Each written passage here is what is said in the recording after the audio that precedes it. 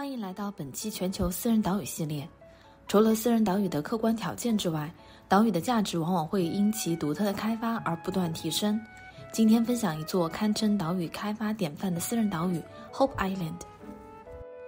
Hope Island 位于美国缅因州，离波士顿也不远。它是波特兰市附近卡斯科湾的一座私人岛屿，从缅因州波特兰乘船二十五分钟便可到达该岛。这座私人岛屿占地八十六英亩，拥有经典的缅因州岩石海岸线和约一万一千零五十英尺的海滨地区。该岛的前任业主在买下岛屿之后，耗时二十多年，对其进行了翻新和重新开发。如今，这座岛屿已经被打造成了一个非凡的庄园。岛上的主要住宅占地一万一千六百五十八平方英尺，有九间卧室、七个浴室和五个壁炉。住宅的内部装饰奢华高雅。中间有螺旋楼梯，顶部有枝形吊灯。除了常规的厨房、庭院外，岛上还设有一个六百平方英尺的酒馆和一个专属教堂。教堂的由来源自于业主妻子在一次恶劣天气导致丈夫一夜未归时，为丈夫做出的祷告，愿意建一座教堂，祈祷丈夫平安归来。前任业主还建造了一个三千三百平方英尺的独立客房、一个员工公寓以及环岛的道路。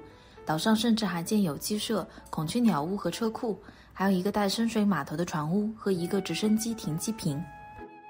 岛上的船屋和谷仓总面积达八千两百六十八平方英尺，另一个五千一百平方英尺的马房配有一个干草盆、饲料室、马具室和另外十个蓄栏。